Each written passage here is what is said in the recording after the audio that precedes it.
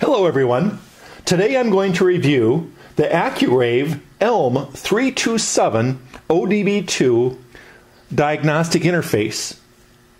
So uh, uh, it came in a, all everything you see here came in this convenient plastic bag. Uh, here we have the actual interface. We have a CD with uh, I think about five or six different uh, freeware or trialware programs. If you're going to run this on a on a Bluetooth-enabled laptop, these are Windows-based programs. And then we have some instructions. Uh, the main thing you'll get out of the instructions here is uh, the pairing code is 1234. So let's take a look at this just a little bit here. Uh, this looks like the good one. Uh, I was on YouTube and there's somebody who bought one of these and it worked really great. Then they bought a bunch more and they're a bunch of crap because they got fake ones. So uh, th- this is uh, hopefully a good one. We'll put it to the test. But uh, we can see here it says uh, part number 1008, ELM 327, firmware revision 1.5. So uh, anyway, we'll, we'll put it to the test. Here's the contents of the CD. We can see we've got Easy ODB2, ODB2 Spy, ScanMaster ELM, ScanTool Net 113 Win, a USB driver, a Windows Vista USB driver, and W ODB Crazy, and some instructions here. And uh, they basically suggest you use ScanTool Net 113W Win and then they have uh, they mention the mention the rest of these, but they require licenses to use anything but the uh, the trial version.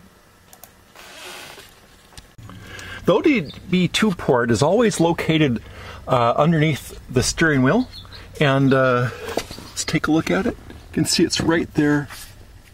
There we go. I guess I got on camera. It's right there, and we'll plug it in.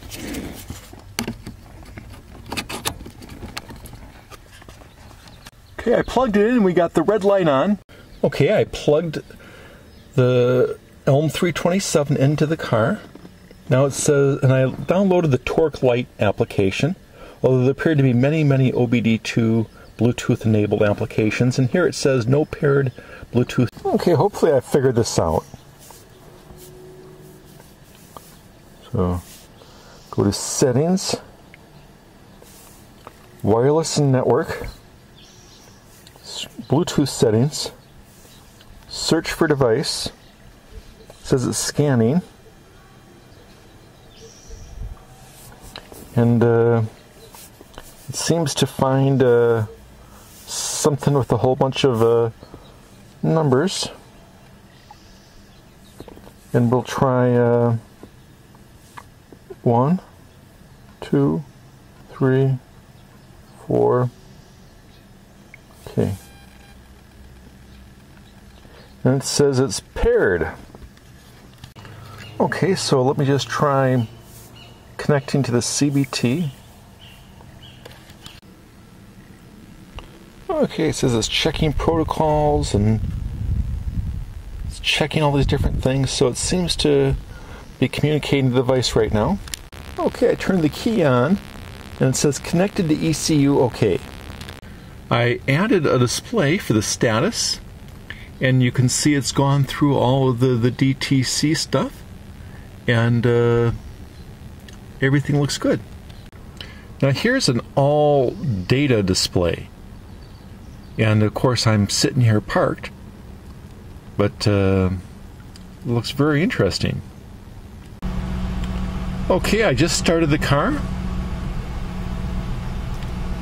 You can see like uh, the intake temperature, coolant temperature, the RPMs, timing, throttle. Very interesting. So the way this torque application works here, if we go to the, the menu, we can click Add Display, and I guess they can, can do a dial, a graph, a display, Uh, I already added like the all data widgets uh, earlier that we saw. So let me just just say if we pick display.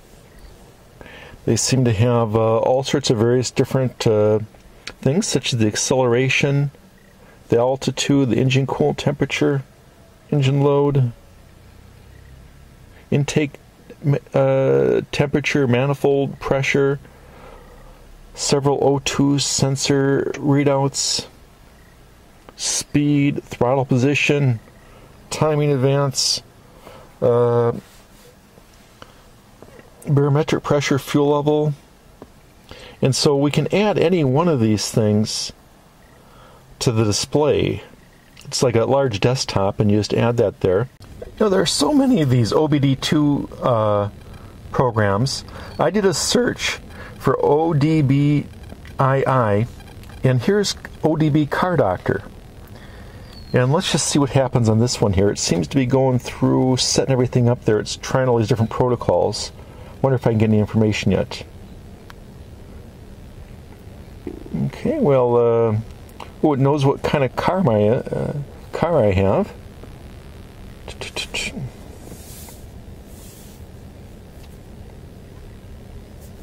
Current data.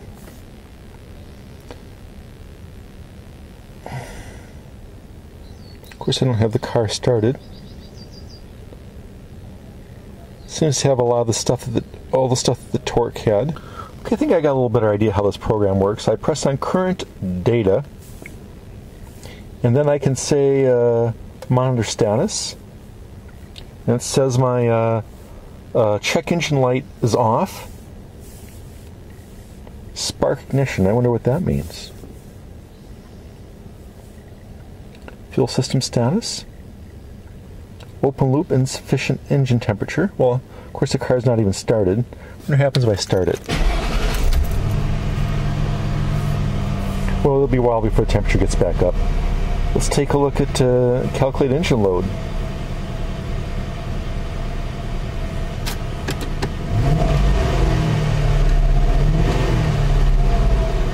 Well, that's interesting because uh, kind of spike up there when I step on the gas.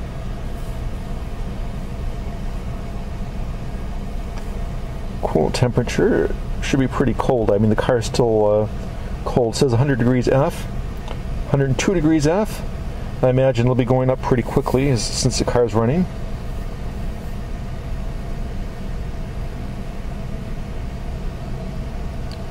Take manifold pressure. 0.3. Oh, okay, and uh, you can see the pressure as I. That's pretty uh, pretty little graph.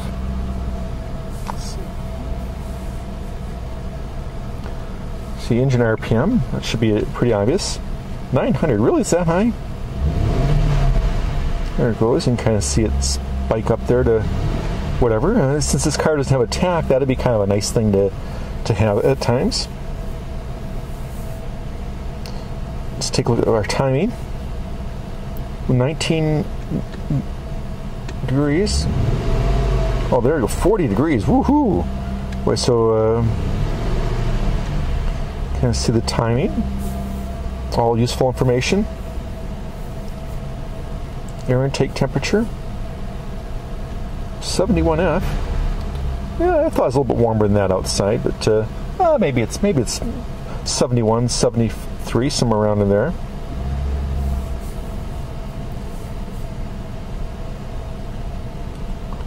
Throttle position. Okay, here I'm idling. It's at 17. That seems okay. Now we're in a different car. This is a 2008 Acura, and, and uh, you can see the the ODB uh, module is right down over here. And uh, here's uh, what we have for the DTC data. And here we are for the driving acceleration stuff. Uh, the car has not been started, so you can see it's kind of cool. Uh, but uh, it seems to work just fine uh, with the, the Acura as well. There you have it. Uh, the, the, the big advantage of this one is this is the working model. It's not the uh, the bootleg models. This is off Amazon, and I'm going to include a link to buying this on Amazon so to make sure you get the right one. So look uh, in the description just under the video for the link so you get the right one. For, uh, and uh, it'll be the genuine model. It's going to work.